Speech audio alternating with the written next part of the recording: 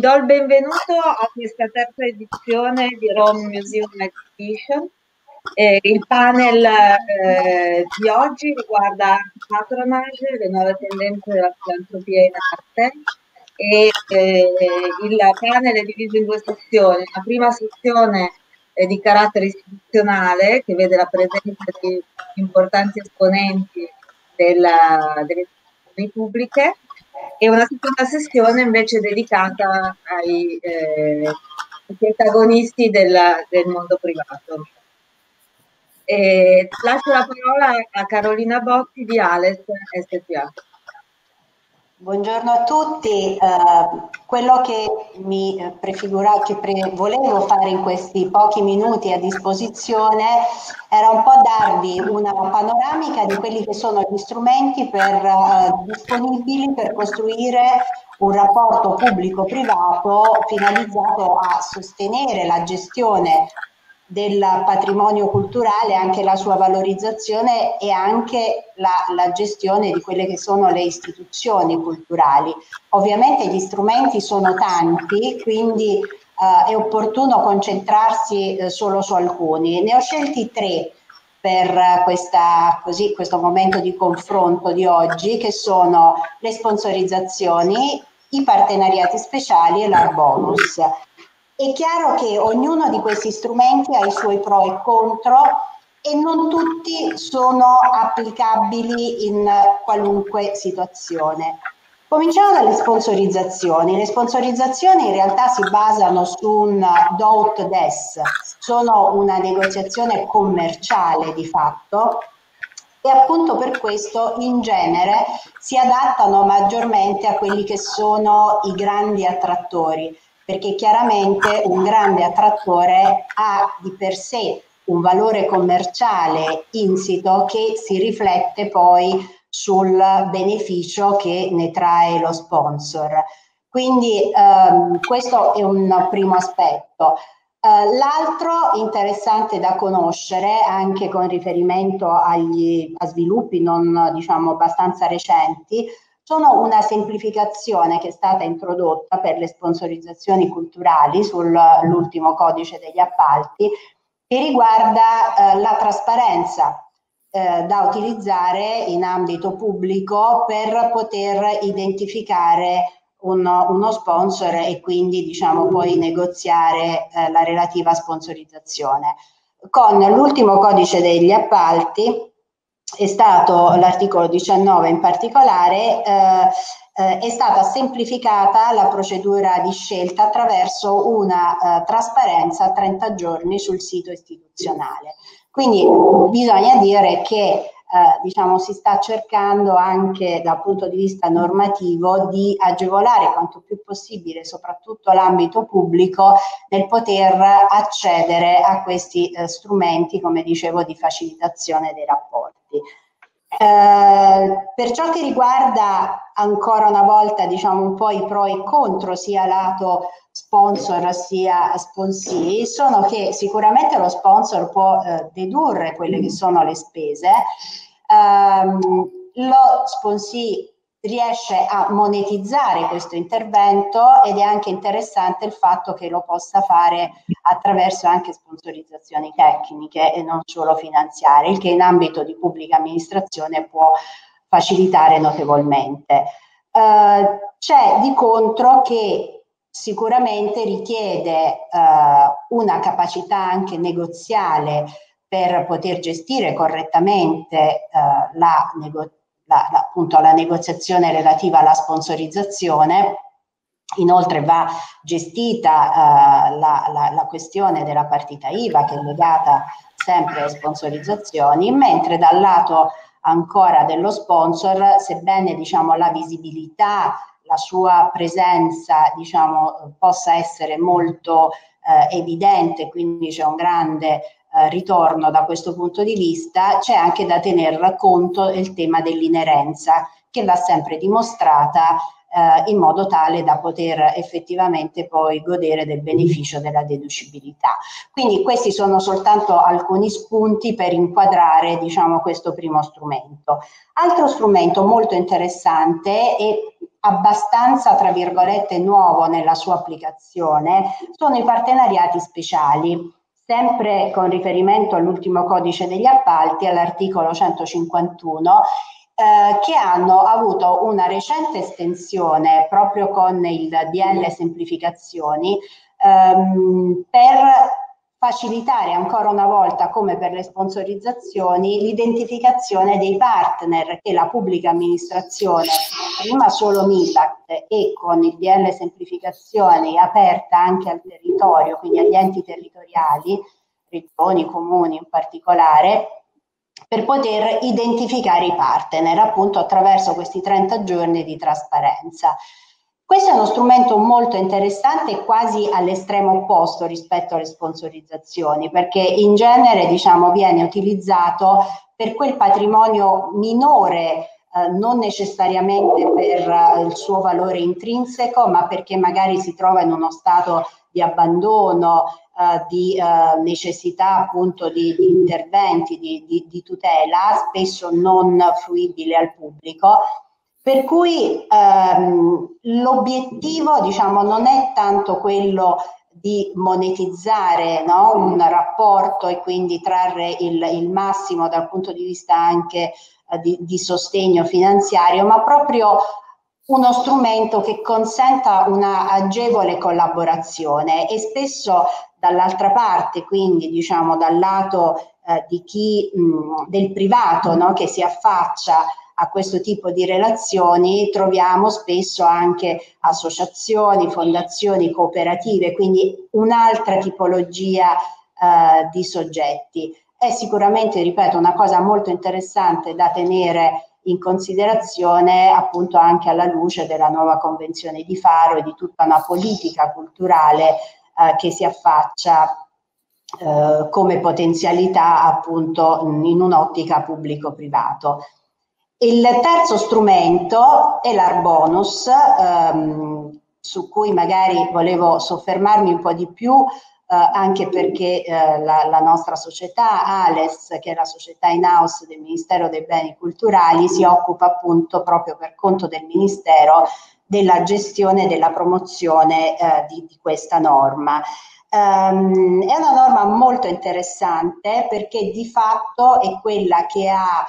aperto diciamo, in, in maniera semplice e con un incentivo molto forte eh, il mecenatismo, quindi diciamo le donazioni in ambito culturale. Um, è legata ad un beneficio fiscale molto interessante perché le donazioni che rientrano in questo ambito possono godere del 65% uh, della, um, di, di, di credito d'imposta rispetto a quanto donato, quindi sicuramente è un utilizzo strategico molto importante del beneficio fiscale per sostenere una politica culturale mirata appunto al coinvolgimento dei privati, eh, siano essi eh, persone fisiche, diciamo semplici cittadini, siano aziende, sia ad esempio fondazioni bancarie. Quindi si applica in un modo molto ampio su tantissime eh,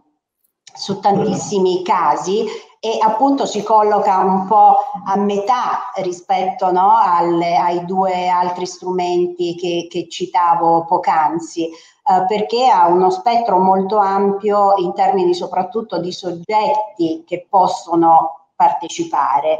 Uh, per ciò che riguarda diciamo, i destinatari di questi beni, um, prevalentemente la norma è rivolta al mondo pubblico, quindi diciamo al patrimonio culturale pubblico e alle istituzioni pubbliche. Per ciò che riguarda il patrimonio culturale pubblico, anche quando è eh, gestito, affidato ad un ente privato in, appunto, in modalità di concessione o affidamento, eh, e al mondo dello spettacolo, mondo dello spettacolo anch'esso diciamo abbastanza istituzionale in quanto si rivolge ai beneficiari del FUS. Uh, quindi devo dire che uh, ad oggi la norma uh, ha avuto un, un, positivo riscontro anche perché ormai è una norma stabile e quindi questo è molto importante perché consente anche di pianificare tutta una serie di, eh, di politiche, di strategie appunto che eh, facilitano le relazioni pubblico-privato eh, e anche devo dire i risultati sono molto eloquenti perché ad oggi eh, dall'inizio uh, della sua attuazione uh, sono state superate le 490 milioni di erogazioni liberali, abbiamo oltre 4.000 raccolte, oltre 2.000 enti che hanno partecipato, stanno partecipando con delle raccolte fondi ehm, con, che godono appunto dell'Arbonus e ci sono oltre 17.000 mecenati che hanno utilizzato questo strumento. È molto interessante che il 60% di loro sono proprio privati cittadini, il che eh, sottolinea quanto proprio il, anche lo spirito di coinvolgimento eh, del pubblico eh, in generale, appunto de, del, delle, delle persone fisiche è molto importante nel riavvicinarle appunto al concetto di tutela e di gestione del, del, del, patrimonio. E per chiudere volevo dire che anche rispetto a questo purtroppo scenario, scenario Covid abbiamo notato quanto sia stato reclamato e richiesto da parte di tante tante istituzioni culturali, associazioni, portavoci del mondo culturale il l'affermazione e il consolidamento, se non l'ampliamento dell'Arbonus, riconosciuto davvero come strumento utile eh, e strategico per il, appunto, il, il sostegno delle istituzioni culturali e addirittura positivamente abbiamo notato, oltre al fatto che non si è fermato l'Arbonus, perché effettivamente eh, la donazione rispetto a un settore molto colpito da questa pandemia si è eh, diciamo, rivelato molto importante e sentito diciamo, da parte dei mecenati che non hanno abbandonato le istituzioni, ma anche le istituzioni hanno continuato ad utilizzarlo in modo molto ehm, molto proattivo e anche innovativo in alcuni casi, come ad esempio nel mondo dello spettacolo, dove ci sono stati spettacoli eh, appunto organizzati proprio con il sostegno dell'Arbonus. Quindi diciamo è stato eh, molto interessante. Vedo una domanda se l'Arbonus è applicabile anche ad aziende di proprietà statale allora va visto un attimo caso, caso per caso in, in, questo, uh, in, questo, in, questo, ambito, se ad esempio l'azienda è uh, concessionario affidataria di un bene pubblico, comunque per tutte le uh, domande anche più specifiche vi invito a scriverci alla info chiocciola artbonus.gov.it dove diciamo, cercheremo di dare tutto il supporto che non riusciamo a dare adesso online in questo uh, in questo webinar che ovviamente diciamo ha anche delle limitazioni in termini di tempo. Credo di aver utilizzato diciamo, il mio spazio, um, chiedo alla coordinatrice se devo interrompermi e poi ovviamente resto a disposizione. Grazie molte per il tuo intervento, soprattutto per l'interessante nuovo scenario dei partenariati speciali. E ora interviene Chiara Rostagno del Ministero che ci porterà la sua testimonianza eh, sulle sponsorizzazioni dei beni culturali. Bene, grazie. Eh, porto una testimonianza che di fatto segna eh,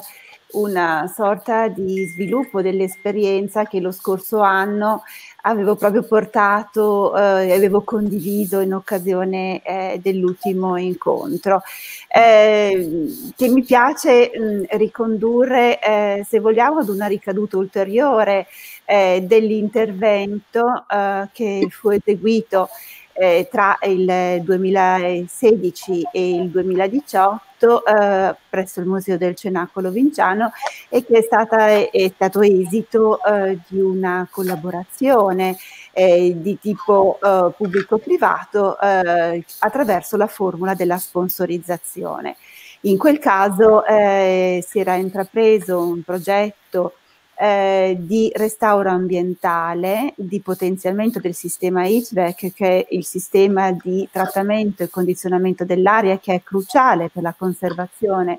dell'opera di Leonardo e, e, e, che quindi ha visto la collaborazione proprio all'interno eh, di questo rapporto di sponsorizzazione tra MIBACT, eh, l'allora polo museale regionale della Lombardia, e eh, Italy. Eh, quella eh, esperienza ha, ha di fatto eh, riguardato certamente un luogo di straordinaria importanza dal punto di vista culturale per il nostro paese, ma anche eh, un sito um, UNESCO e quindi in quanto tale, in quanto eh, di fatto eh, soggetti che eh, hanno il compito eh, di ehm, eh, produrre eh, in qualche modo attività di valorizzazione culturale che siano anche adeguate agli indirizzi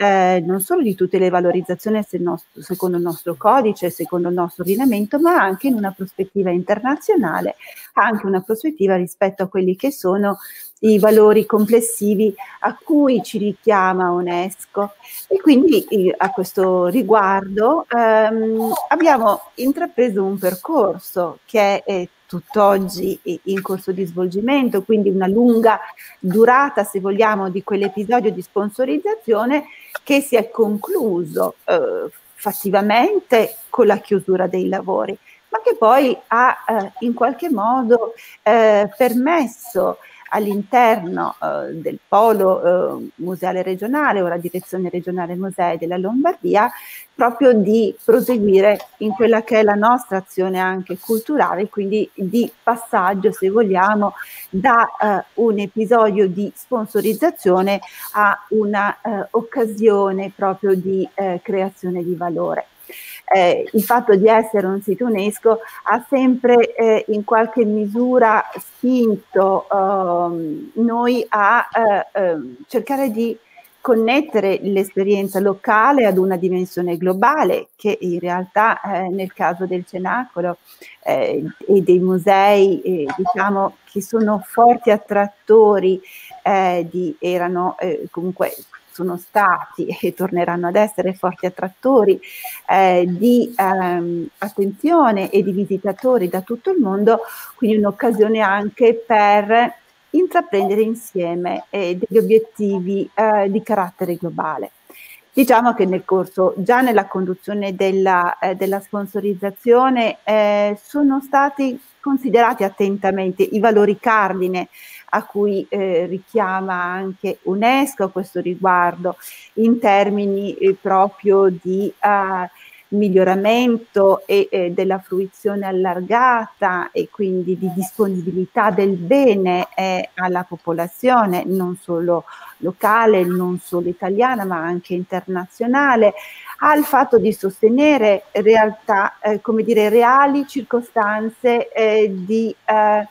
eh, di costruzione di un futuro condiviso in termini di ricerca, in termini di innovazione tecnologica e quei fondi sono, erano considerevoli, consideriamo 700 mila euro, euro l'oggetto della sponsorizzazione a cui si sono sommati altri 300 mila euro per le azioni di condivisione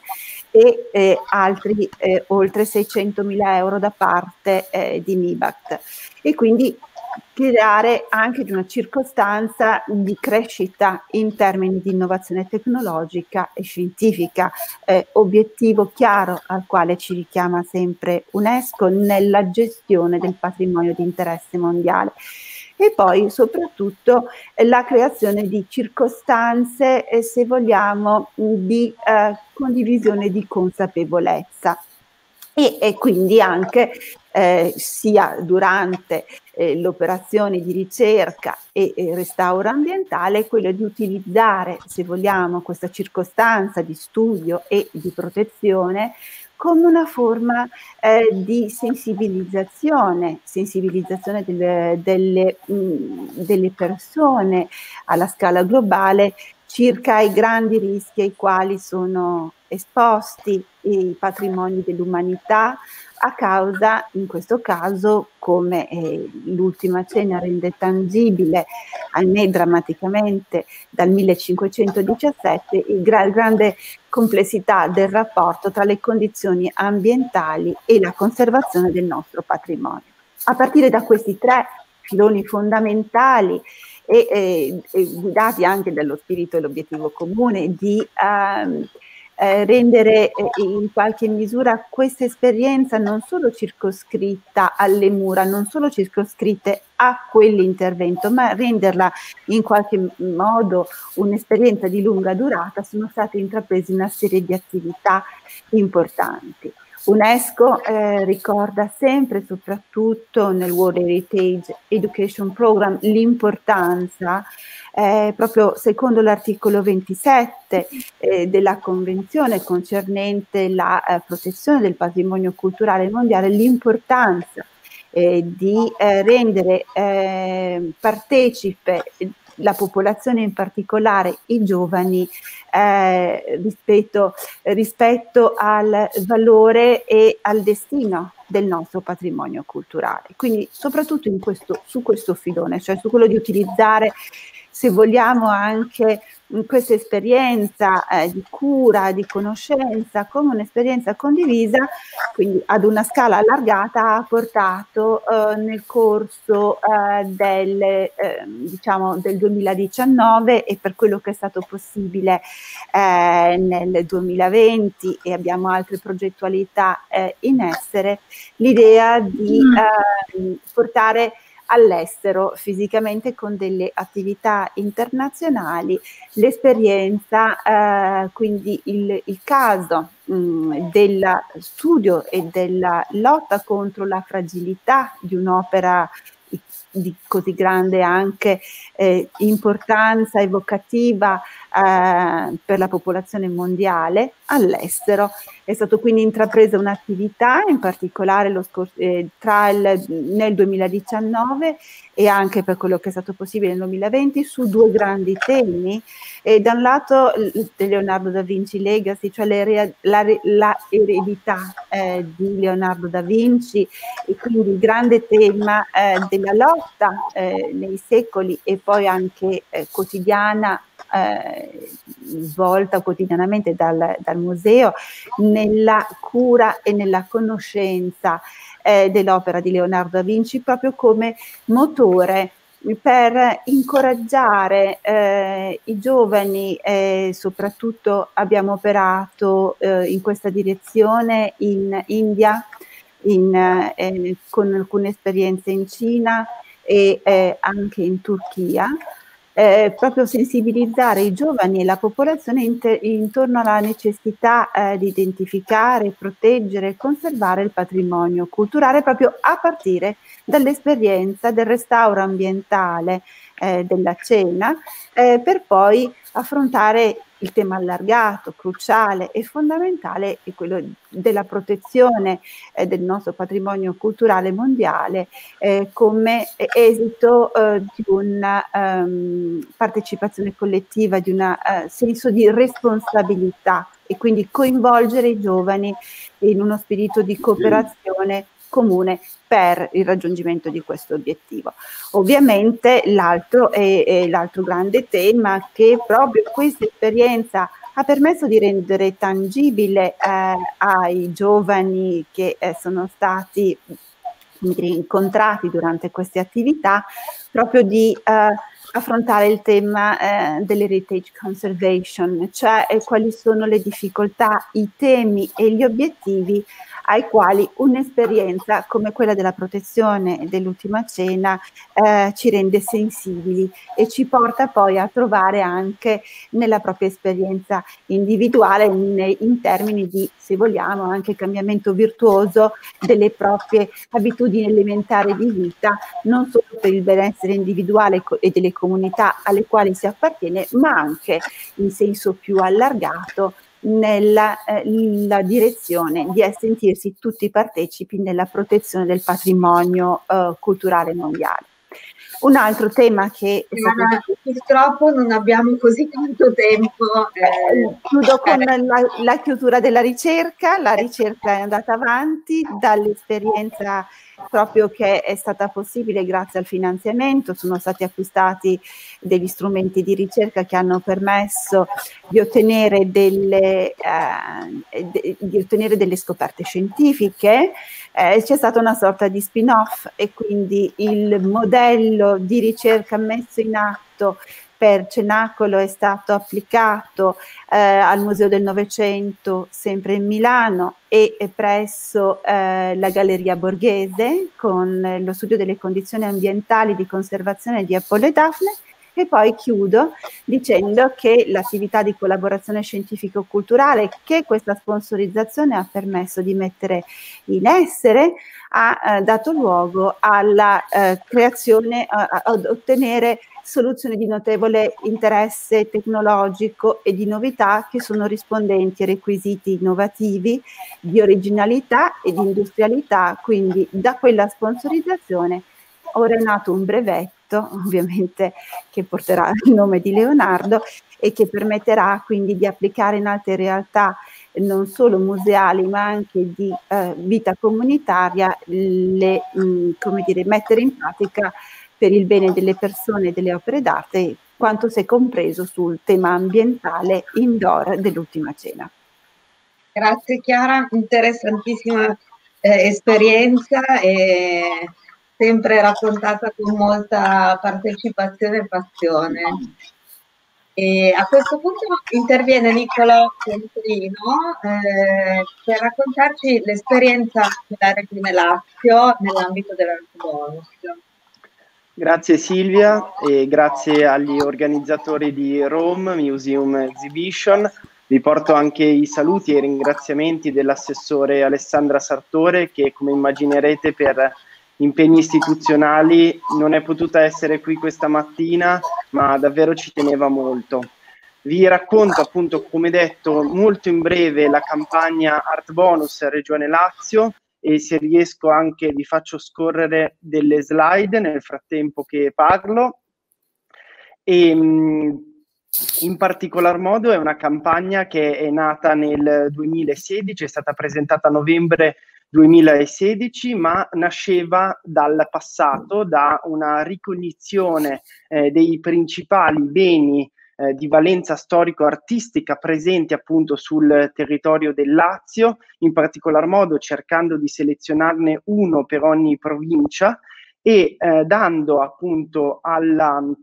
campagna una dimensione di sistema, quindi eh, come vedete creando un claim, creando un'immagine coordinata, creando un sito, un portale che fosse eh, sia di informazione che di coinvolgimento dei potenziali sostenitori, creando ovviamente anche degli strumenti adeguati per poter fare raccolta fondi sia dai privati, inteso come comunità, che eh, per quanto riguarda il tessuto imprenditoriale.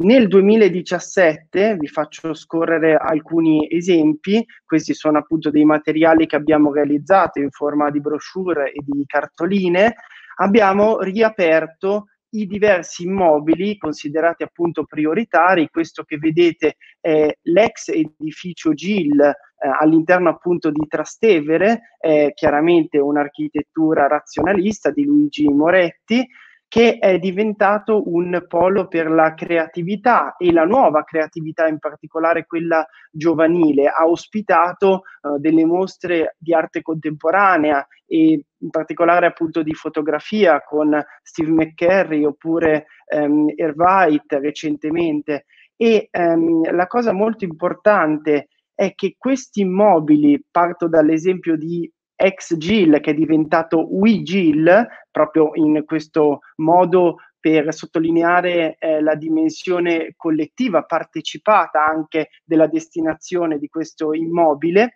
La cosa importante è eh, la prospettiva che eh, è stata segnata. Infatti noi abbiamo riaperto soltanto il primo piano, il piano ammezzato e proprio recentemente, il primo di luglio del 2020, è stato presentato il programma di interventi di restauro e di riqualificazione eh, dei piani successivi, destinando appunto questo immobile alla formazione sia in ambito appunto enogastronomico che in ambito proprio professionale, dando ulteriormente anche eh, degli spunti di evoluzione eh, nel corpo B eh, in cui verrà realizzata addirittura una sala cinema, proprio perché una parte dell'utilizzo di questo immobile ha anche un'accezione legata alla scuola di cinema Volonté anche perché, come ricorderete, eh, si trova appunto in via Induno, è esattamente nel polo, in quello che vuole diventare un po' il polo del cinema all'interno appunto della città di Roma. In eh, un altro contesto, quindi eh, parliamo dei Monti Cimini, San Martino al Cimino, lo splendido Palazzo Doria Panfili, riaperto anche in questo caso eh, nel 2017 con una serie appunto di eventi eh, speciali eh, legati appunto chiaramente alla fruizione artistica. Questo appunto è un dettaglio della meravigliosa eh, decorazione. Vedete appunto come ritorna il tema appunto eh, dell'immagine coordinata della campagna con questo claim che abbiamo scelto, la bellezza salverà il mondo, aiutaci anche tu. Infine il castello di Santa Severa che immagino tanti di voi conosceranno, in questo caso appunto mi preme raccontarvi una destinazione legata anche eh, agli aspetti naturalistici e di nuove tecnologie applicate ai beni culturali. Proprio eh, in questi mesi stiamo realizzando i lavori appunto di restauro che consentiranno di aprire ulteriori spazi appunto del castello, tra cui Manica Corta e Manica Lunga, nonché un intervento particolarmente importante lato storico-artistico, cioè il battistero di Santa Severa, che come immaginerete dal nome all'intero complesso. Um, qui vi lascio comunque i riferimenti della campagna. Mi preme mh, darvi qualche indicazione sugli strumenti messi in atto pur nel breve tempo che ci è concesso. Sicuramente, come diceva Carolina Barotti, il um, grande um, eh, la grande novità di questa campagna è stata associare sia i meccanismi di art bonus che quelli delle sponsorizzazioni. In particolare sull'art bonus abbiamo cercato di inserire due novità che sono sicuramente una donazione online realizzata in una maniera molto um, user friendly, quindi particolarmente veloce, quindi non soltanto con il sistema di pago PA, ma con eh, il sistema di PayPal decisamente più diffuso, eh, diciamo per i normali acquisti e eh, con un sistema di ricevute automatizzato. L'altra novità rispetto appunto ad Art Bonus è sicuramente l'attivazione di un sistema di membership, quindi eh, un sistema a fasce che consente appunto di controricambiare, per così dire, sempre con delle ricompense di natura valoriale, simbolica, ehm, la donazione che viene appunto effettuata e eh, chiuderei appunto con una considerazione legata alla stretta attualità raccontandovi molto brevemente l'esempio di Villa Ponam, uno degli immobili appunto della campagna di Art Bonus che è Nicolò, stata recente... possiamo eh, cercare di stringere la relazione perché dobbiamo dare la parola anche a Maria e poi il pubblico ha magari qualche domanda da fare. Volentieri, vi raccontavo di Villa Ponam eh, a su cui è stata attivata eh, una, mh, mm, un avviso pubblico, un partenariato pubblico-privato, la prima regione italiana ad attivare questo strumento tramite appunto eh, evidenza pubblica e dall'altra parte invece la Torre di Palidoro, 23 settembre abbiamo aperto uno spazio dedicato appunto alla memoria eh, di, del vice brigadiere eh, Salvo d'Acquisto, oggetto anch'essa appunto della campagna di Art Bonus. Ehm, vi confermo che eh, tramite appunto ehm, la campagna Art Bonus attualmente, quindi eh, ribadendo quello che diceva Carolina, eh, anche in periodo di pandemia siamo riusciti a raccogliere decisamente appunto fondi sia da parte di privati che da parte di aziende che hanno voluto continuare a essere vicini a questa progettualità. Grazie ancora.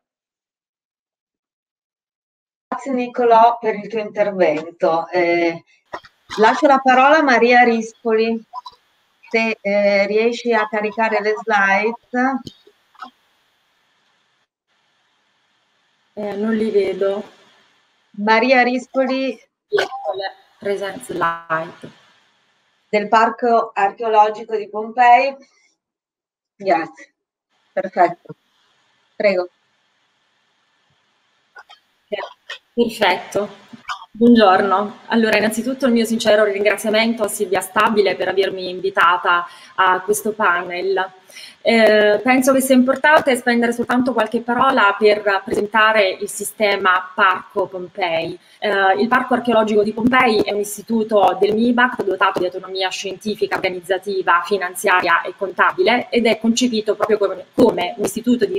ricerca, tutela e valorizzazione tutte attività che mirano a un importante obiettivo che è quello della fruizione. Uh, esso è costituito da numerose aree archeologiche ma anche da sedi uh, espositive, in primis l'area archeologica di Pompei a cui si associano le ville di Stabia, di Bosco Reale e Dioplantis, il sito archeologico di Longola, ma anche le sedi eh, espositive di Bosco Reale, eh, di eh, Castello di Lettera e Reggio di Quisisana che ospita il Museo archeologico di Stabie. Dunque, eh, il, ehm, eh, come essendo appunto un museo autonomo, eh, come tutti i musei autonomi, esso è eh, provvisto di uno statuto, eh, di uno statuto che eh, disciplina ruoli, compiti e attività. In particolar modo si legge che le attività del Parco archeologico di Pompei sono finalizzate alla fruizione pubblica dell'area archeologica e del patrimonio materiale ed immateriale di cui dispone, mediante la tutela, la conservazione e la valorizzazione e sono altresì dedicate alla promozione dello sviluppo della cultura e della ricerca tecnica scientifica. Dunque, a queste parole ho voluto eh, fare mettere da sfondo un'immagine che ritengo che sia molto significativa. Si tratta di un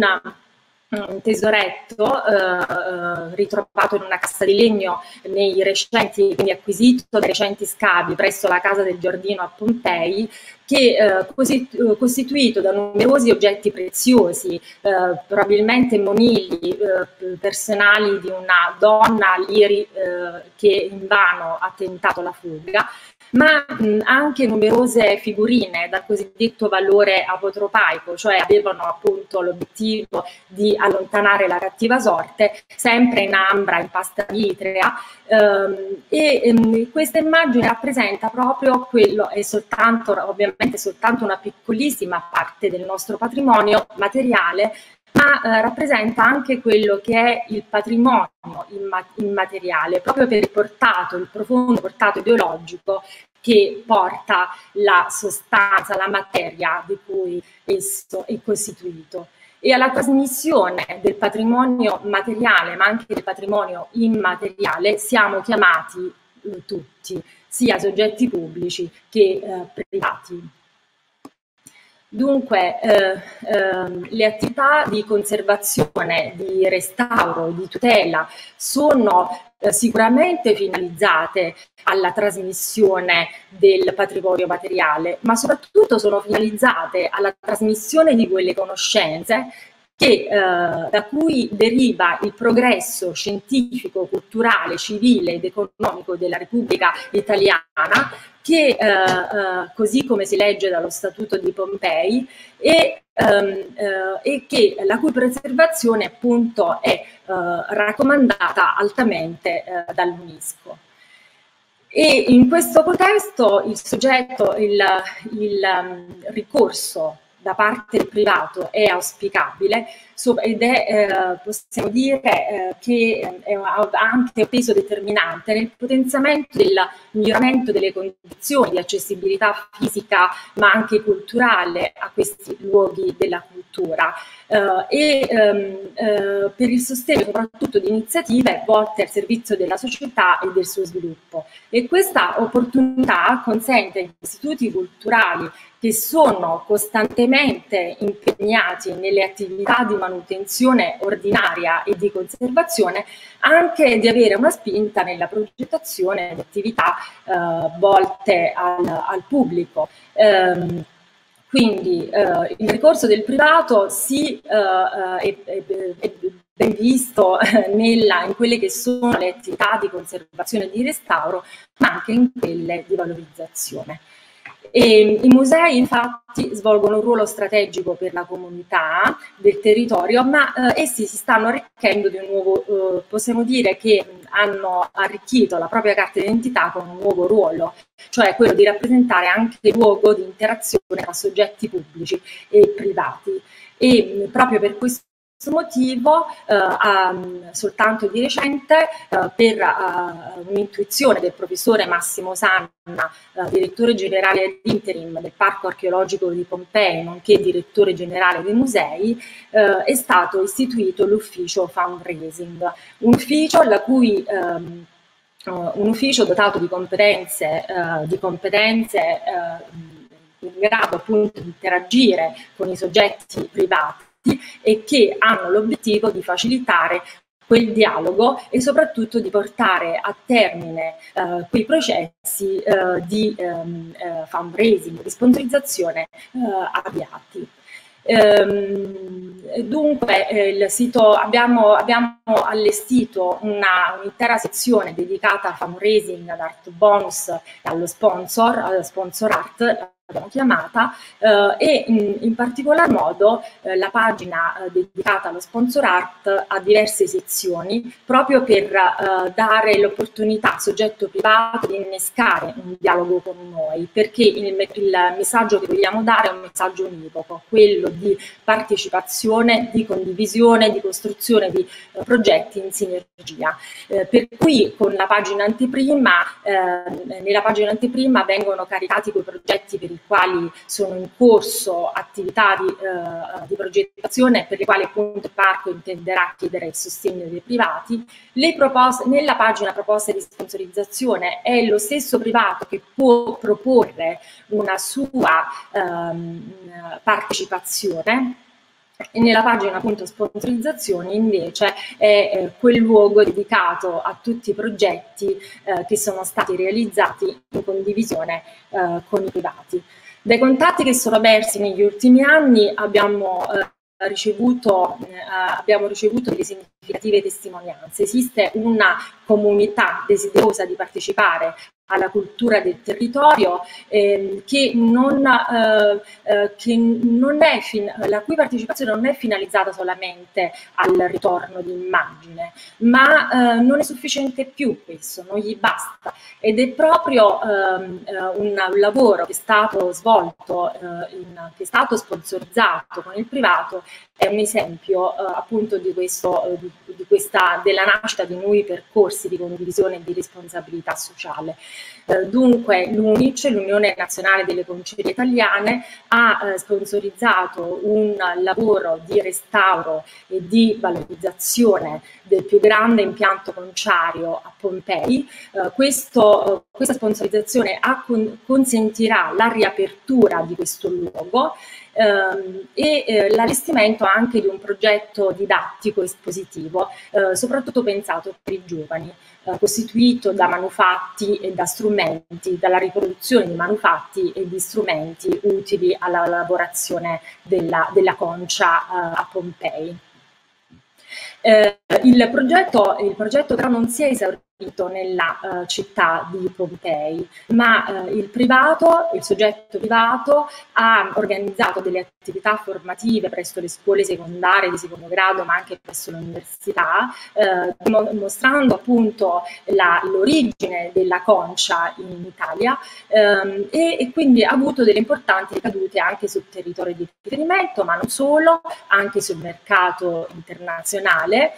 poiché um, è stato realizzato realizzato un breve film documentario che eh, mostra appunto le origini antiche di un'attività eh, peculiare del Made in Italy. Tutto questo è stato possibile grazie ad alcune peculiarità di questa collaborazione. Da una parte la flessibilità della pubblica amministrazione, dove per flessibilità si intende la capacità di organizzare percorsi culturali su uh, uh, livelli differenti. Da una parte anche il senso di responsabilità sociale da parte del soggetto uh, privato. Dunque gli investimenti privati possono eh, produrre un duplice valore, quello economico che si traduce in attività concrete, ma anche quello formativo per le ricadute positive che si generano a catena. Attività come, come eh, queste appena descritte introducono il museo all'interno di dinamiche più complesse, dove esso diventa anche uno spazio eh, fisico, metaforico che si eh, introduce all'interno di una rete eh, socio-economica. Eh, spero di non aver sforato e di essere stata. Grazie Maria, molto interessante. E lascerei mh, mm, 5 minuti per rivolgere le domande in chat. Se qualcuno ha eh, delle domande eh, rispetto agli interventi. Ho visto eh, prima che eh, c'era una domanda per Carolina in chat, la puoi leggere anche tu, Q&A chiedono eh, chi eh, se è a carico dell'istituzione culturale eh, promuovere l'art bonus, come vengono invitati i soggetti a partecipare alle donazioni tramite l'art bonus. Silvia, scusami, non ho, non ho ben compreso la domanda perché si sente a tratti. Ok, se puoi andare in Q&A, sì. C'è la finestra Q&A, eh, Vittoria Gelati ti ha rivolto una domanda. Allora, aspetta che scorro.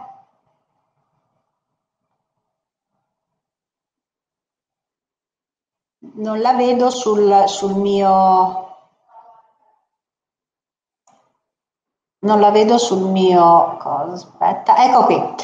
Allora, eh, è a carico di promuovere la sponsorizzazione tramite Arbonus, come vengono invitati i soggetti a partecipare. Allora, è chiaro che dal punto di vista centrale istituzionale uno dei ruoli che noi svolgiamo come ALES è quello di promuovere la norma e quindi dare sia attraverso il portale Arbonus e sia attraverso una serie di manifestazioni, ad esempio adesso ogni anno è in corso il, um, il, il, il premio per l'Arbonus dell'anno, questo concorso che consente a chi ha chiuso già una raccolta di promuovere appunto e far votare i cittadini la raccolta dando visibilità di fatto sia al, al lavoro e quindi al eh, al bene culturale, all'istituzione culturale protagonista, sia anche a chi praticamente ha partecipato da mecenate alla realizzazione di questi, di questi interventi. Quindi ci sono numerose iniziative di visibilità di fatto. È chiaro comunque, come dimostrava anche eh, l'intervento della Maria Rispoli su Pompei ehm, e diciamo gli altri interventi che è compito soprattutto dell'amministrazione proponente farsi carico di una strategia di promozione eh, delle proprie raccolte fondi che si inquadrano in una strategia complessiva di, eh, di gestione dell'istituzione culturale o del patrimonio culturale in, in gestione. Quindi è ovvio che non si può delegare, sicuramente diciamo c'è necessità di acquisire competenze attraverso anche attività formative, attività eh, di consulenza qualora non ci fossero eh, già in house nell'istituzione queste, eh, queste caratteristiche, ma è imprescindibile che sia l'istituzione coinvolta in primo piano e non solo diciamo, il, eh, l'ufficio per così dire di eh, fundraising o di comunicazione, ma tutta l'istituzione a cominciare dai vertici che devono sentire questa uh, questa necessità e impegnarsi in, uh, appunto nel, nel, nel, promuoverla e nell'ispirare fiducia uh, per le donazioni. Rispondo magari, non so se devo rispondere anche a quella di, di Andrei Cristini. Um, in realtà, diciamo, la necessità alla fine è sempre quella. È chiaro che in questo periodo di pandemia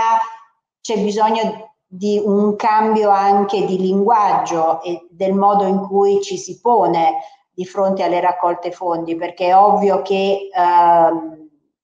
eh, ci sono diciamo, questioni emergenziali no, a, cui, a, cui, far fronte, però è anche vero che, eh, come dicevo, la cultura eh, è stata molto ferita e continua ad essere una,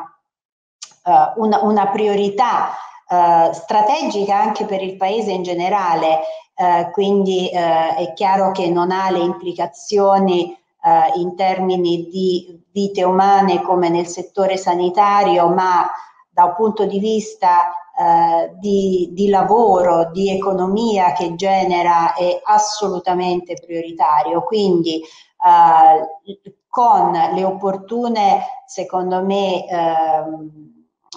come dire, correttezze di linguaggio eh, è assolutamente legittimo più che mai in questo momento porsi nella, eh, diciamo, nella, ne, nel mondo della comunicazione rivolta anche alla ricerca di, di, di sostegno. Ci auguriamo anche poi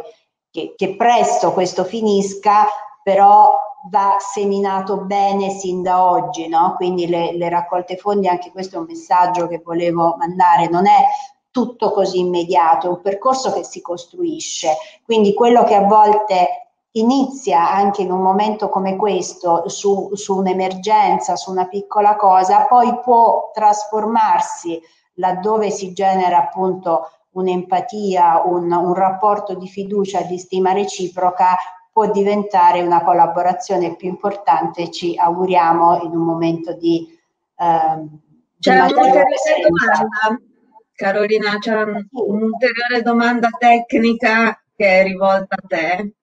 Questa, diciamo, questa domanda preferirei, come ho detto all'altra, di, di, rispondere in modo specifico sulla info perché queste tipologie eh, di, di, di, situazioni vanno esaminate una per una. Eh, sul sito eh, dell'Arbonus trovate anche tutta una serie di risoluzioni e di risposte dell'Agenzia delle Entrate, in particolare diciamo, consiglio di leggere eh, la eh, risoluzione, la 136, eh, su questo aspetto, Uh, però diciamo non si può dare una, domanda, una risposta generica, va, va, visto caso per caso. In generale, diciamo, quando c'è un concessionario, un affidatario di un bene culturale pubblico, questo può comunque aprire raccolte finalizzate alla manutenzione, protezione e restauro del bene culturale. Quindi questa è una cosa che comunque vale eh, in modo così eh, complessivo per tutti. Poi sui singoli casi magari va, va verificato. Grazie, molto chiaro tutto. E, mh, a questo punto ci dobbiamo eh, staccare da, questo, da, questa sessione e eh, collegarci alla, eh, all'altra sessione. Quindi chiederei eh, alla, mm, eh, all'organizzazione, alla regia, di fornirci le informazioni utili a eh, transitare dalla sessione A alla sessione B.